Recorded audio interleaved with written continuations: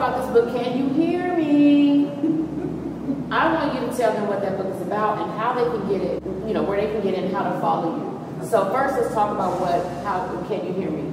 Because I think every parent should have it and also grab one for their child. Give me peace.